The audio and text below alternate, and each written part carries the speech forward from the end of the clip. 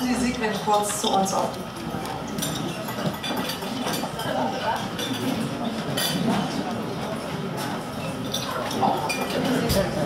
Vielen Dank.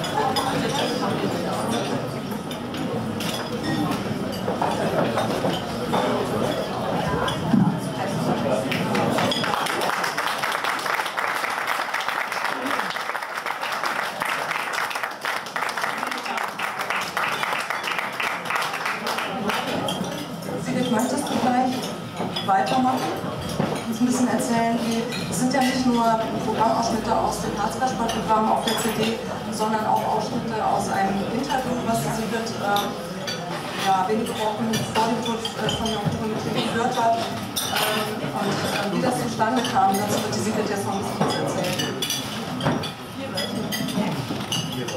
Also es fing eigentlich an ähm, zu der 60. Geburtstag. Ja, hört ihr mich alle? Näher, nicht ans Mikro. Was? Näher, näher ans Mikrofon hin. Pfeift's ja wieder.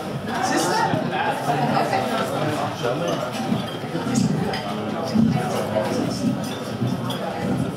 Ja.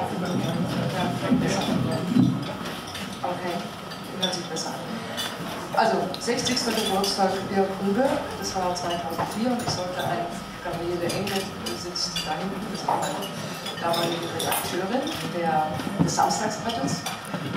Und wir hatten also beschlossen, ein Porträt zu seinem 60. Geburtstag zu machen. Und ich habe also vorhin angerufen bei ihm und gefragt, wann er ein Interview gibt, was eigentlich, also ja.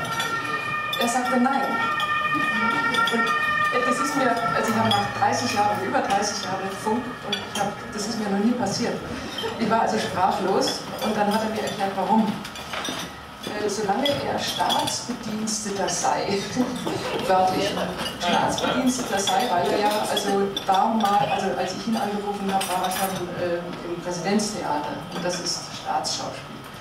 Und ähm, er mag also sich nicht äußern über Kabarett und auch nicht äh, äußern über Schauspiel, weil er ähm, seinem Arbeitgeber so wörtlich nicht auf die Füße treten will. Und er gäbe grundsätzlich keine Interviews vor seinem 65. Geburtstag. So, was macht ein äh, Hörfunkmensch äh, mit einem zu porträtierenden? Der nichts sagt.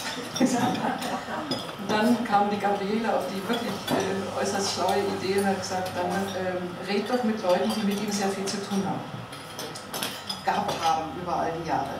Das waren also die Weltbrüder, die ihn auf seinen Lesungen immer begleitet haben.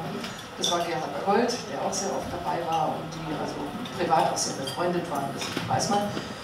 Und es war der Georg Ringswandel, der, äh, für den er sehr viel gespielt hat in den Kammerspielen als Schauspieler. Und Ringswandel ist seine Stücke an er die Regie geführt. Und die habe ich mir also vors Mikrofon gebeten.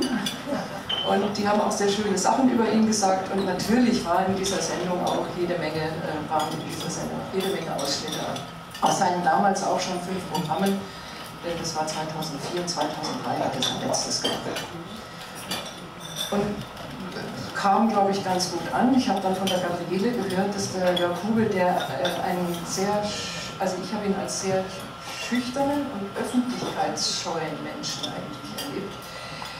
Der, der ist also ganz schüchtern zur Gabriele gegangen und hat gesagt, er hätte gehört, dass dieses, äh, dieses Porträt doch sehr schön geworden sei und ob er nicht eine Kassette davon hat. so, äh, das hat sie natürlich dann auch gemacht und so. Und es war also jetzt, ähm, und ich habe für, für dieses Porträt, Porträt händeringend nach früheren Interview-Sachen von ihm, also Fernsehen, Hörfunk, Archiv, nichts, absolut Fehlanzeige. Dieser Mensch hat so gut wie nie Interviews gegeben. Äh, zu, zu, meinem großen Bedauern. Also ich konnte mich nirgendwo bedienen. Ich hatte ein einziges kleines Interview mit ihm gemacht, als er den deutschen Kabarettpreis in Nürnberg gekriegt hat. Und das war das Einzige, was im Archiv vorhanden war. Das war mein eigenes Interview. Das war aber auch nur ganz kurz. Und so. Und dann, als ich ihn, äh, als er die Katinka äh, beschlossen hat, äh, zum Bayerischen Kabarettpreis, den der Jörg Hube 2009 im Mai entgegengenommen hat für sein Lebenswerk, hat sie gesagt, mach doch bitte ein Porträt von ihm. Da habe ich gesagt, ja, ich weiß nicht, ob das mit dem Interview so hinhaut. 65 Jahre inzwischen, aber das sagt ja noch nichts. Und ich habe ihn angerufen, er war sehr freundlich und hat gesagt, ja machen wir, wir haben uns verabredet und dann haben wir uns äh, getroffen in seiner ganz neuen Wohnung in, in Schwabing. Er hat bis jetzt immer hier in dieser Gegend gelebt.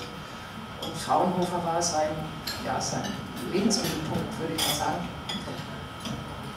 Und dann haben wir uns sehr intensiv, sehr locker, völlig unangestrengt. Ich war ganz erstaunt, dass dieser Mensch, der, der mir so als so sehr distanziert und schüchtern äh, erschien, erschienen war, äh, dass der so offen war und so. Wir haben richtig, wir haben Kapuziner getrunken und haben am Küchentisch gesessen und haben uns einfach unterhalten.